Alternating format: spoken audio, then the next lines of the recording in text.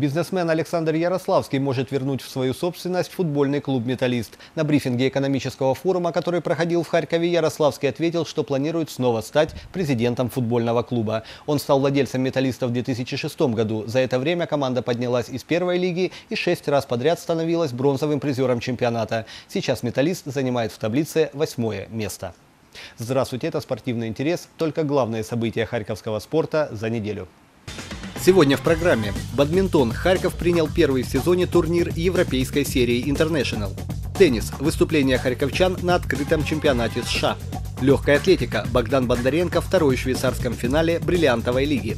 Волейбол. Локомотив-победитель предсезонного турнира Кубок Льва.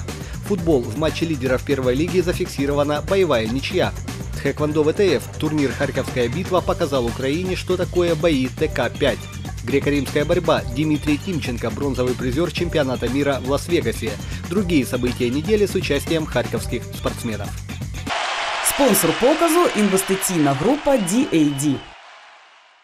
На чемпионате Украины по бадминтону среди 16-летних спортсменов харьковчанка Валерия Рудакова выиграла одиночный разряд. В финале ученица Натальи Головкиной и Евгения Почтарева на 12-17 переиграла хозяйку Днепропетровских кортов Евгению Паксютову. В паре с Анастасией Прозоровой Рудакова заняла второе место. Кроме того, Иван Мединский и Кирилл Щур стали вторыми в паре, Михаил Махновский и Прозорова в миксте. Во Дворце спорта «Локомотив» состоялся первый в сезоне турнир по бадминтону европейской серии International. Для Украины это знаковое событие. Соревнований такого масштаба, да еще и ежегодных, у нас в стране немного. Впервые за 7 лет нас почтили вниманием таиландские мастера ракетки. Они сыграли в финалах всех категорий, где были заявлены. Мужская пара Бодин и Сара Нипитфон Пуанг Пуапеч в двух геймах переиграли польский дуэт Адам Цвалина и Пшемислав Ваха. Женский тандем, дай бог выговорить, Джокан Фан Кити Харакул и Равин Линда Прайонги Ай также за две партии справились с англичанками Хитер Олвер и Лорен Смит, а в финале одиночного разряда Чучувонг Порнпави уступила немке белорусского происхождения Ольге Конан 16 и 10.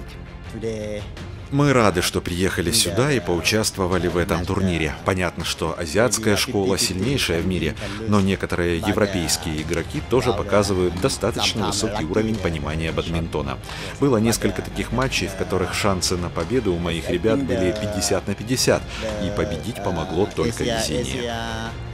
В финале смешанной пары опыт играл против еще большего опыта. В итоге победу праздновали чемпионы Европы 2012 года польские бадминтонисты 39-летний Роберт Матеусяк и 31-летняя Надежда Зеба. В главном матче они два раза по 21-14 обыграли первых сеянных французов Гаэтан Миттельхайсера и Одри Фонтейн. С индусами играли на последнем турнире и тоже выиграли, выиграли в двух партиях. Так что мы так с такой надеждой, что сегодня тоже получится. Так что пока что хорошо. Постепенно возвращаемся, у нас был долгий перерыв. И пока очень довольны. Мы впервые на Харьковском турнире и, честно говоря, находимся в шоке. Такого высокого уровня организации мы не ожидали. Гостиница, зал, все условия выше похвал. А особенно приятно нас удивило то, что здешние трибуны за нас болеют. В общем, нам здесь все очень понравилось. Украинские бадминтонисты на домашнем турнире довольствовались участием в полуфиналах. В том же миксте харьковчанин Геннадий Натаров и Юлия Казаринова из Николаева в полуфинале сошлись как раз с французским тандемом. С ними же они играли за выход 4 на европейских играх в Баку и тогда уступили в трех геймах. А теперь борьба получилась только в первой партии, которую украинцы проиграли на 16. Во второй они не вышли из восьми. Против лома приема нет, нужно ковать свой лом, более жесткий. Вина в этом всем была наша. Где-то не доработали. Возможно, расслабились. Очень сложный был сезон прошлый. Много было подготовок, э, поездок, э, европейские игры.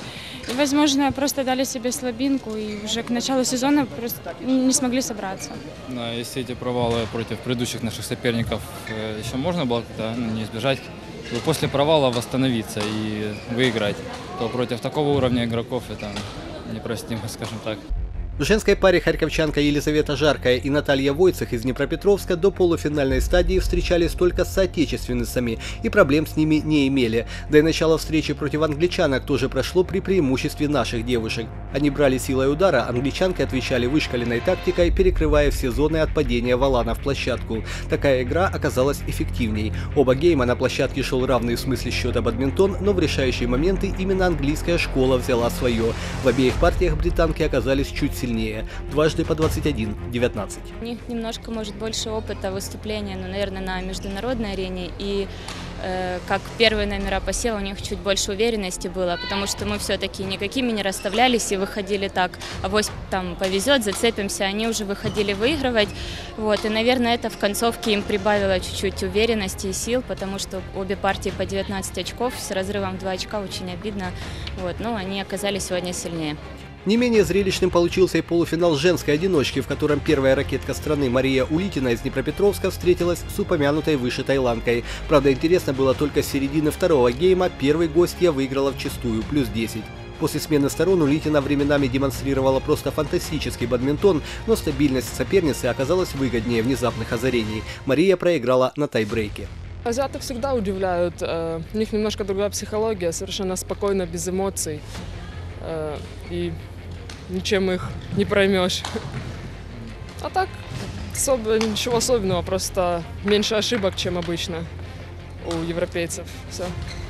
Мужской паре украинцы вылетели на стадии четвертьфинала тоже и в одиночном разряде. Харьковчанин Дмитрий Завадский в 1-4 проиграл французу Лукасу Корви. Победителем категории стал завсегдатай харьковского турнира швед Хенрих Урскайнен. Возможно, результаты украинцев могли быть лучше, но нужно сделать поправку на бытовые трудности, которые сопровождают весь отечественный спорт, а также на странности в работе Украинской Федерации бадминтона. А о высоком потенциале тех же харьковчан свидетельствует хотя бы такая история. Наш Артем Почтарев э, конец апреля и начало мая провел в Словении и э, ну, как бы э, работал спаррингом с Утрошей, которого он там, ну, как бы натаскивал. И Утроша, когда посмотрел жеребьевку, он взял билеты на сегодня на вечер. Он знал, что он идет через Артема. Но, видите, так сложилось, что Артем проиграл в первом туре, а Исток вот сейчас играет за выход в финал. Победителей и призеров Харьковского турнира International награждал председатель областной администрации Игорь Райнин. Лидеры украинского мужского тенниса харьковчанин Сергей Стаховский и киевлянин Александр Долгополов не смогут помочь сборной Украины в матче Кубка Дэвиса против Литвы. У Долгополова травма локтя, Стаховский причину не назвал, но напомнил, что беспристрастно защищал цвета сборной 11 лет. В поединке против Литвы определится, какая из команд продолжит борьбу за выживание в первой группе евроафриканской зоны.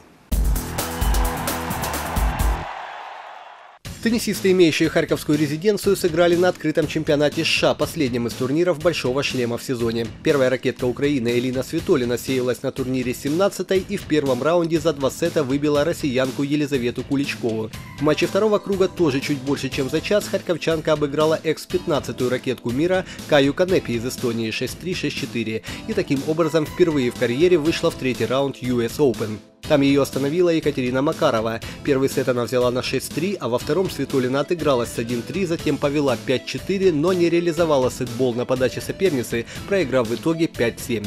Сергей Стаховский сначала в четырех партиях был сильнее австралийца Джона Милмана, во втором круге также за 4 сета переиграл соотечественника Илью Марченко, но в третьем раунде уступил французу Жол Вилфреду Цанга 3-6, 5-7, 2-6. Вице-чемпион мира по прыжкам в высоту харьковчанин Богдан Бондаренко сразу после пекинского чемпионата мира выступил на первом из двух финальных этапов легкоатлетической бриллиантовой лиги. Соперники были те же, что и в столице Китая. Чемпион мира канадец Дерек Дрюин, правда, закончил рано, на отметке 2.19. Бондаренко, катарец Мутас Баршим и китаец Джон Гвей взяли по 2.30, причем по попыткам Богдан лидировал. Но высота 2.32 покорилась только Баршиму, который и стал победителем лиги. Бондаренко попробовал 2.32, не получилось и перенес попытки на 2.34, на которых планка тоже упала.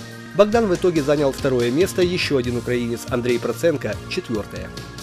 После этого Бондаренко успел выиграть турнир в итальянском Раверетто, победная высота 2.31. В Андорском Волнорде завершился чемпионат мира по маунтинбайку, в котором поучаствовала харьковчанка Ирина Попова. В скоростной дисциплине «Элиминатор» подопечная Романа Коробова заняла высокое 11 место и заработала 20 очков в олимпийскую копилку сборной Украины. Выиграла «Элиминатор» швейцарка Линда Индергант. В олимпийском кросс-кантри Попова финишировала 34-й, обогнав на одну позицию Наталью Крампец из Тернополя и получив 41 зачетный балл. Бронзовую медаль чемпионата мира выиграла лучанка Яна Беломоина. Это первая ее награда во взрослой возрастной категории. От победительницы, француженки Паулин Прево, Беломоина отстала на полторы минуты. Для полноты картины скажу, что андорская трасса располагалась на высоте под 2000 метров. Спонсор показу інвестиційна група DAD. Игроки харьковского волейбольного локомотива Олег Плотницкий и Илья Ковалев стали бронзовыми призерами чемпионата Европы по пляжному волейболу среди 20-летних. Турнир прошел на Кипре, в Ларнаке. В бронзовом финале харьковчане победили финский дуэт Сантери Сирен Миро Маатайнин. Счет 21-17, 21-13. В прошлом году украинская пара была серебряным призером юношеского чемпионата мира. Многократный чемпион Украины по волейболу Харьковский «Локомотив» продолжает подготовку к новому сезону посредством международных матчей. Во Львове подопечные Юрия Филиппова приняли участие в Кубке Льва. Харьковчане начали турнир с уверенной трехсетовой победы над румынским клубом Пятра Нямс. Вообще групповая стадия предполагала, что игра будет длиться три партии, поэтому хозяев площадки и польского Слепска «Локомотив» выиграл 2-1, а другой польской команде Кампер Вышков 1-2 проиграл. Таким образом, матчи за первое место сошлись опять-таки «Локомотив» и «Барком». Это была полноценная битва длиной в 5 сетов, три из которых совершились на тайбрейке. В четвертой партии хозяева не реализовали два матчбола и харьковчане перевели игру в золотой сет 26-24. Там тоже игра шла очко в очко и только в самой концовке два балла от капитана Локомотива Владимира Татаринцева принесли его команде победу 15-13. Футзальный локомотив в статусе трехкратного чемпиона страны начал новый сезон в Херсоне против дебютанта экстралиги Продексима. Впрочем, в составе хозяев случайных людей не было, но сыграться им еще нужно. Судьба матча решилась еще до перерыва, когда по голу в ворота хозяев забили Евгений Рогачев, Дмитрий Бондарь, Александр Сорокин и Денис Овсянников. После возобновления игры Овсянников оформил дубль, дебютный гол за новую команду провел Петр Шатурма, а Дмитрий Сорокин подвел итог голам Локомотива. У Продексима гол престижа на счету Олега Василенко. 7-1 харьковчане успешно начали сезон и поздравили победой с днем рождения своего главного тренера Евгения Рывкина. В первой лиге большого футбола в седьмом туре встретились лидеры таблицы – Харьковский «Гелиос» и вторая команда столичного «Динамо». Первый же опасный момент в матче стал голевым для хозяев. Евгений Задоя выполнил удар со штрафного, а Игорь Чередниченко головой переправил мяч в ворота. В конце тайма тот же Задоя дал ударить издали Евгению Трояновскому, а вратарь Руслан Зарубин к такому раскладу оказался не готов. После возобновления игры соперники могли изменить счет. Киевляне не использовали вот этот тройной момент, в котором поучаствовали все, кто только мог. Харьковчане использовали дальние удары и стандарты с тем же нулевым результатом. В итоге 1-1 солнечные набрали 13 пунктов и делят по очкам второе место с Зиркой, Черкасским Днепром и Нефтяником. В болгарском Пловдиве завершился чемпионат мира по неолимпийской версии тхэквондо ITF. Победителями командного силового теста стали харьковчане Баграт Адамия, Денис Гречишников и Виталий Деревянко. В командном спарринге все они стали серебряными призерами. По итогам турнира сборная Украины заняла второе командное место. Спортклубе «Тетра» состоялся кадетско-юношеский турнир под хэквондо ВТФ «Харьковская битва». В его рамках впервые в Украине провели соревнования формата ТК-5. Кстати, и для «Тетры» это был дебют в деле приема подобных турниров, так что с почином. А ТК-5 – это командные бои, каждая стенка состоит из пяти спортсменов разного веса. В первом раунде в течение минуты представители одной весовой категории спаррингуют друг с другом. Во вторые 5 минут на усмотрение тренера, но не менее 10 секунд и не более 30. Замена обозначается поднятием флага. Легкие спортсмены могут биться с тяжеловесами. Карточек и видеоповторов нет. Зрелище, скажу я вам, потрясающее. Высокий темп, неимоверная динамика и нечеловеческий азарт на Даянге и за его пределами. Как следствие, фантастическое количество ударов и незабываемые эмоции у всей команды. Мы провели его на обычных жилетах, вспомнили, как, как говорится, старую школу, как когда еще было. Сейчас же электронная система, и все перестраиваются такое, на тычки, все вот это.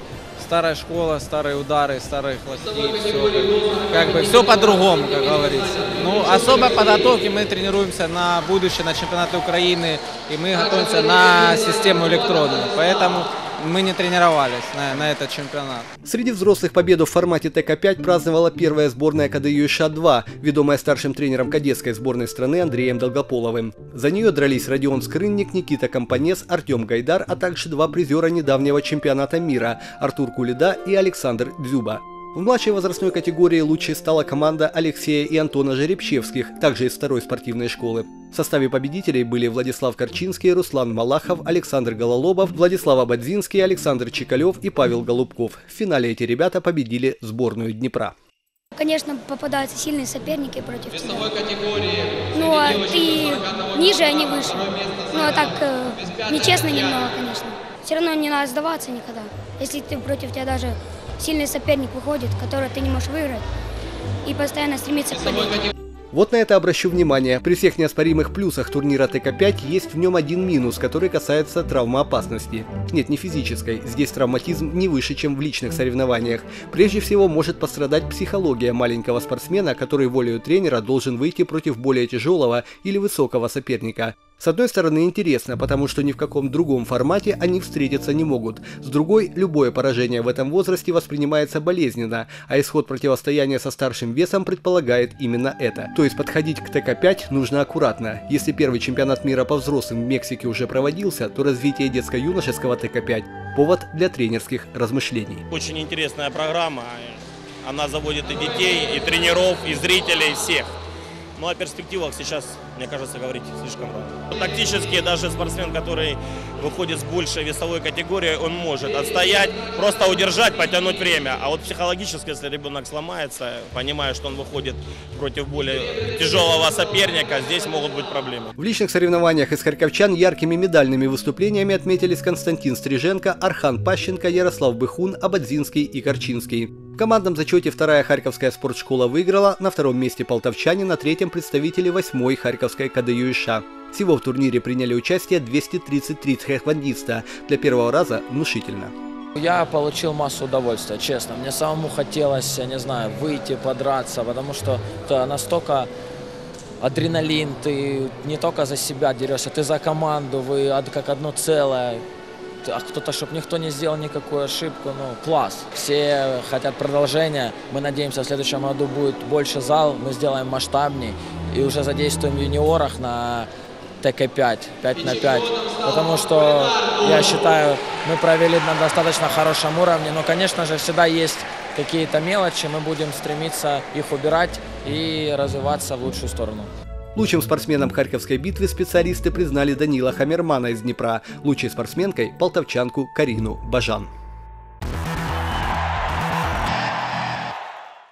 Студентка Харьковского национального юридического университета Марина Черняк выступила на чемпионате мира по дзюдо в столице Казахстана. Выступая в наилегчайшей категории, она только в финале пула уступила японке, победно утешившись против румынской дзюдоистки. В полуфинал Черняк не вышла, проиграв японам кореянке Жонг Бо Ки Йонг. В итоге у Марины пятое итоговое место. В Лас-Вегасе стартовал чемпионат мира по всем видам спортивной борьбы. Во всех них есть харьковские представители. В греко-римской борьбе это серебряный призер европейских игр Дмитрий Тимченко. В весовой категории до 98 килограммов на американский ковер ему пришлось выходить пять раз. Сначала ученик отца и заслуженного тренера Украины Юрия Тимченко сошелся с белорусом Александром Гробовиком и выиграл благодаря контрприему в портере. Эти два балла стали решающими. В схватке с грузином Михелем Кажая оба получили по баллу за активность, но Тимченко в этой очереди был вторым и ничья пошла ему на пользу. В четвертьфинале украинец за явным преимуществом уступил будущему чемпиону мира Артуру Алексаняну из Армении и перешел в сетку тех, кто утешается и идет к бронзе. И первый же поединок здесь получился драматичным. В первом периоде норвежец Мартин Нильсен вел 2 балла, но харьковчанин дважды перевел соперника из стойки в портер и вышел вперед 4-2. За минуту до конца встречи Нильсен вытолкнул Димченко за ковер и сократил отставание до минимума, правда большего сделать не смог. В бронзовом финале Дмитрию оппонировал румын Алин Циура. Первые два балла Тимченко заработал уже на 30-й секунде, потом пропустил заход за спину и такая ничья была не в пользу харьковского динамовца. Во втором периоде нужно было делать и Дмитрий сделал, но для этого тренерам пришлось выбрасывать губку. 4-2 Тимченко обладатель бронзовой медали чемпионата мира и олимпийской лицензии в Рио-де-Жанейро. Воспитанник Харьковского клуба тайландского бокса «Максимус» Роман Крыкля, который сейчас тренируется в Минске, поучаствовал в финале чемпионата мира в боях по правилам TNA в супертяжелой весовой категории. На пути к главному поединку подопечный Максима Кейко прошел голландского, хорватского и итальянского бойцов, а в финале встретился с камерунцем Даниэлем Лентие. Уже в первом раунде после двух ударов коленом соперник отказался от продолжения боя и Крыкле засчитали победу техническим нокаутом. Он чемпион мира. Санкт-Петербурге проходит чемпионат мира по боксу среди юниоров. Харьков там представлял супертяжеловес Дмитрий Галаган. В 1-8 финал он победил раздельным решением судей китайца Мансура Маймайти. Попасть в призы Галагану не дал хозяин ринга Дмитрий Фоминых. В четвертьфинальном поединке судьи вынесли единогласное, но не единопонятное решение – 3-0. Спонсор показу інвестиційна група DAD. В матче второго этапа регбийной суперлиги Украины Харьковский Олимп на своем поле разгромил киевский Ребелс со счетом 100-0. Матч другой харьковской команды Техаса против одесского Креда перенесен на 4 октября. На этом все. Спасибо, что смотрите нас. Спортивного вам здоровья, а все остальное приложится.